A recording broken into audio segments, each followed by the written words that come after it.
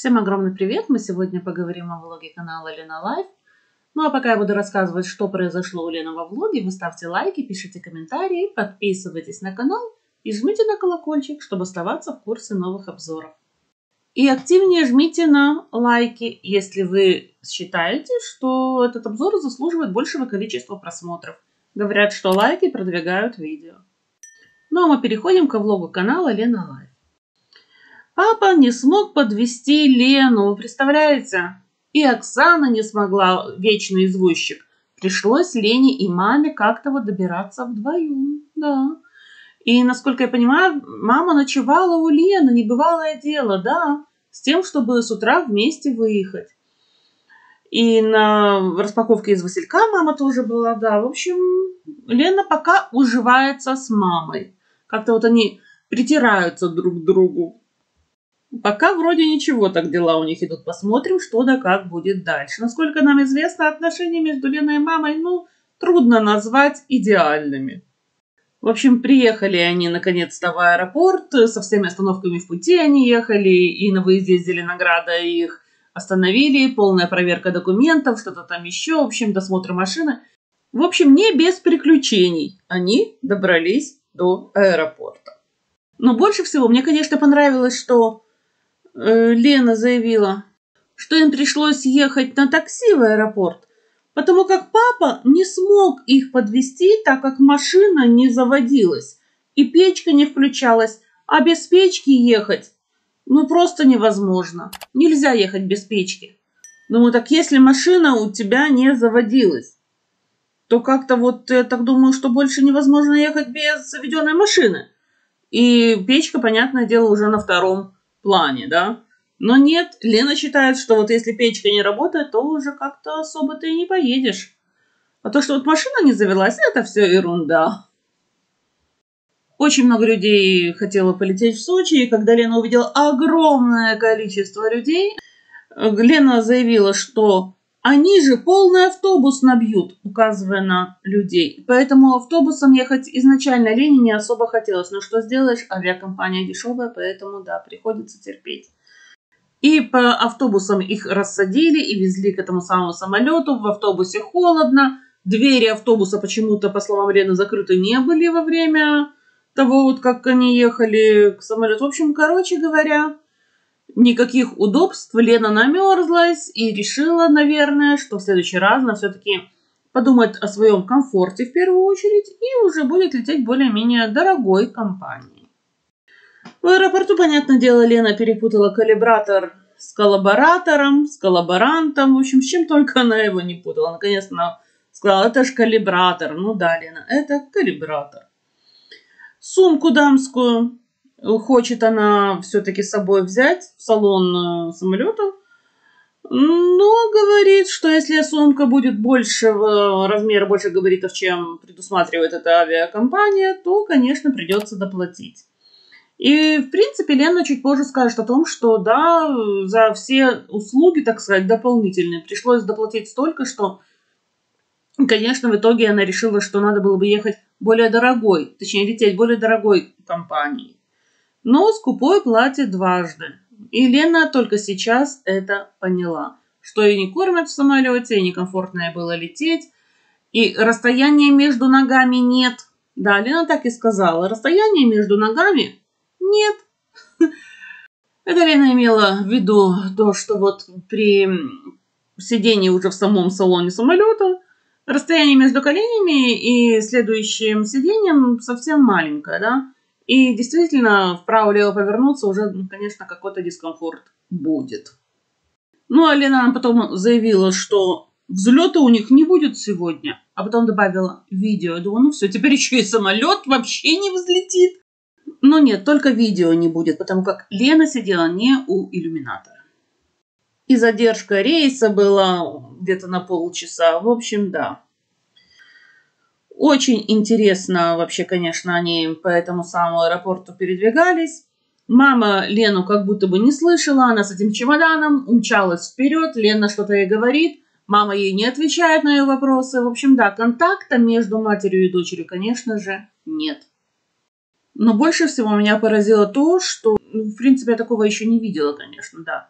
люди, которые уже прилетели, они должны были ждать, пока придет работник аэропорта и откроет им двери. То есть вся эта толпа, она ждала минут 10, пока придет человек и откроет им дверь. Они уже и стучали в те двери, они что только не делали. Это вообще нормально? Конечно, тут Лену могу понять, этих людей тоже могу понять. Конечно, настроение от этого не улучшится.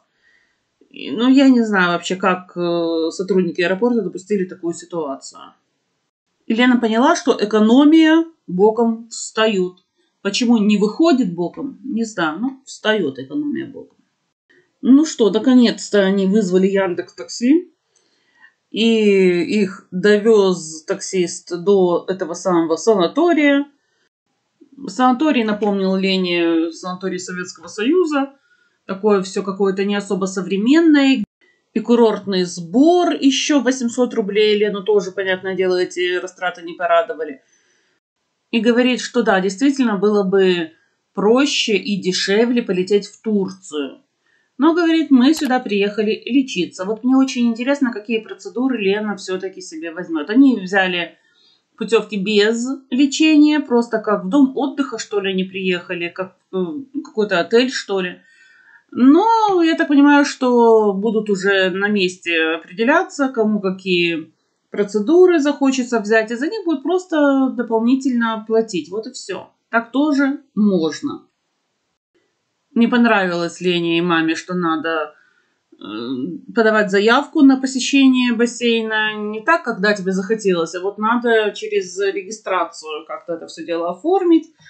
Конечно, это не нравится, ну что сделаешь. Санаторий это тебе не отель, не дом отдыха. При заселении, конечно, никто не помог чемоданы донести, лифт не предусмотрен. В общем, сами несли свои чемоданы, и мама сама перла, не побоюсь этого слова, свой чемодан 11-килограммовый по тем лестницам, по тем ступенькам. Лена даже не подумала ей помочь. Лена свой чемодан, который, как она сказала, пометила с тем, чтобы его не перепутать с каким-нибудь другим чемоданом. Да, пометила. Вот как собака или кошка бывает, да, кошки, коты метят углы, вот так Лена пометила свой чемодан. И Лена даже не подумала о том, что маме надо было все-таки помочь. Сначала один чемодан донести, потом вернуться и другой чемодан. Нет, мама все сама. На Лену мама вообще не надеялась. Я уверена, что если бы вместо Лены с мамой поехала бы Оксана, ситуация была бы абсолютно другой. И, конечно, Лена вышла первым делом на балкончик, говорит, ой, какой тут балкон есть, море видно с балкона, морюшка, сказала Лена. Ну, понятное дело, морюшка. По-моему, Судакова называла море морюшком, если я не ошибаюсь. И Лена как может отстать от э, любимого блогера? Да никак. Судакова говорит морюшка, значит и Лена тоже будет вслед за ней повторять морюшка.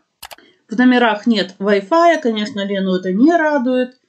Но, в принципе, она об этом знала изначально, когда она только заказывала номера в этом санатории.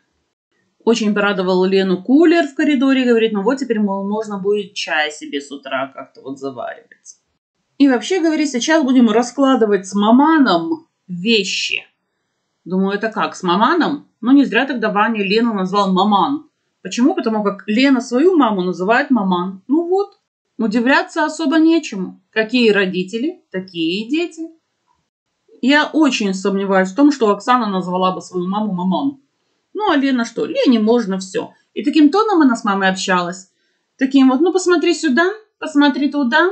Ну что, ты не видишь, что ли? Ты что, не слышишь? Мам, посмотри, тут море, слышишь? Мам, ну ужас какой-то. Э, вообще не понимаю, как можно так разговаривать. Высокомерно, свысока, гаденько так. И это надо учитывать, она говорит с родной мамой. Ну и понятное дело, что делает мама в первую очередь, когда она заселилась в отель. Тут же звонит Оксане. Оксане звонит. Она не звонит мужу своему, она не звонит кому-либо еще, она звонит Оксане. И разговаривает с Оксаной, говорит, как они добрались, как они заселились, ну и так далее. Очень я сомневаюсь в том, что если бы мама приехала с Оксаной в санаторий, Первым делом мама звонила бы Лене. Но никогда в жизни она Лене не позвонила бы. Лена счастлива. Нашла она бесплатный Wi-Fi. Говорит, вот, есть бесплатный Wi-Fi в этом отеле.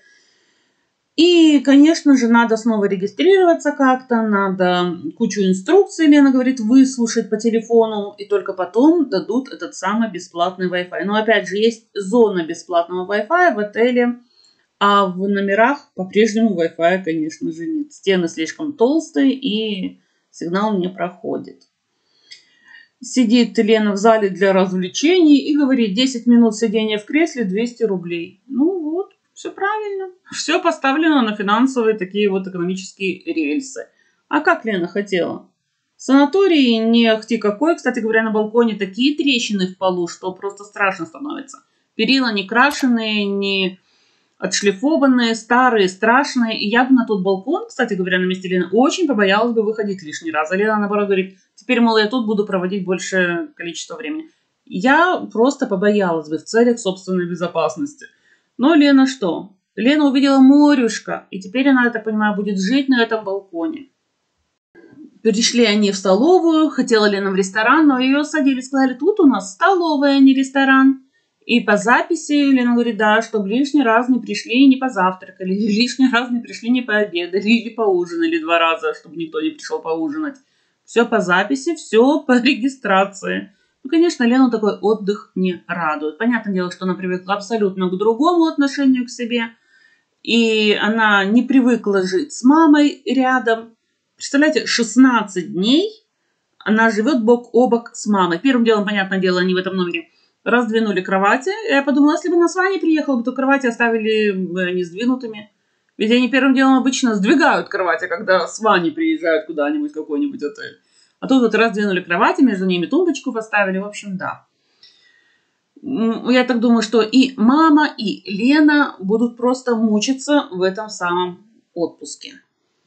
Не будет мама до конца расслаблена, и Лена тоже будет напряжена. Хотя, в принципе, вы знаете, Лена блогер, она будет пилить контент в первую очередь. Да, ей по большому счету, в принципе, все равно, кого позорить, и я так думаю, что она будет маму снимать во всех мыслимых и немыслимых видах. Почему? Потому как все мы помним прекрасно, как Лена умеет подставить своего ближнего. То Ваню, то маму. При каждом удобном случае она подставляет их. Да, снимает их не в том виде, в котором, ну, надо бы. Правда ведь? Правда ведь. И почему-то считает это нормальным. Оксана, кстати говоря, когда Василек прислал ей какие-то ночные рубашки, какие-то халаты и так далее, она в первую очередь сказала, это для мамы. А вот сделала бы точно так же Лена? Я думаю, что нет, потому как Лена еще ни разу не подумала о том, что маме тоже что-то надо. Ну, не было такого. А Оксана, зная, что мама уезжает в санаторий, она в первую очередь позаботилась о маме. Она именно для мамы заказала какие-то халаты, какие-то ночные рубашки, какие-то туники, что там еще было, носочки какие-то. Все для мамы. Как-то так, да. Поэтому, повторюсь еще раз, с Оксаной маме было бы намного комфортнее. И Оксана не снимала бы маму в неудобных каких-то моментах. А тут, мне кажется, шоу только начинается. Мы еще увидим, на что способна Лена ради большего количества просмотров и комментариев. Дай бог, чтобы я ошибалась. В столовой Лена говорит, мам, вон там крайний стол, слышь? Ну, таким тоном она сказала, мол, ты что, мам, ты что, не видишь, не знаешь, где мы сидим? Какое место я выбрала, какой стол я выбрала? Мам, слышь? Ужас какой-то. В общем, мама взяла себе, по-моему, грудку куриную одну и совсем немного салата, в отличие от Лены. Лена взяла, конечно, побольше порцию, такую достаточно серьезную. Она хочет, наверное, восполнить и пропущенный завтрак, и пропущенный обед, потому как прибыли они в отель только к ужину. И идут они снова в номер, Лена уже дышать не может, Лена так наелась, что действительно дышать ей очень трудно. Мама идет налегке. Ну, а Лена как Лена. Она, когда видит еду, шведский стол, она прям, я не знаю, как с цепи срывается. Надо съесть все и побольше. И после этого она говорит, что хочет похудеть. Да никогда в жизни у нее не получится похудеть. Да, там написаны калории рядом с каждым блюдом, но извините, все хорошо в меру. Если Лена и дальше будет так продолжать есть, как вот она сейчас поела, кстати говоря, перед сном уже, да, ужин, то я сомневаюсь очень, что она похудеет за эти 16 дней пребывания в санатории. Как по мне, так она еще и наберет. Но посмотрим, конечно, возможно, я ошибаюсь. Маме, кстати говоря, еда не особо понравилась, а Лена, я говорю, она ела как не в себя. Лене все очень понравилось. Ну, а завтра что? Завтра они пойдут гулять, так сказать, на разведку, будут осматривать э, местность, и, я так понимаю, Лена будет снимать. А почему бы и нет? Нашла на зону с бесплатным Wi-Fi, так что, я думаю, чтение отменяется. Говорила Лена о том, что в библиотеку она запишется, да, вот эту э, библиотеку санатория, и будет книжки читать, и Пелевина она перечитать хочет. Ну, я так понимаю, что все это накрылось медным тазом. Лена блогер в первую очередь. И она будет снимать, она будет пилить контент. Ну, вот таким вот получился у меня обзор влога канала Лена Life. Если он вам понравился, ставьте лайки. Если нет, ставьте дизлайки. Пишите комментарии, подписывайтесь на канал. Всем пока!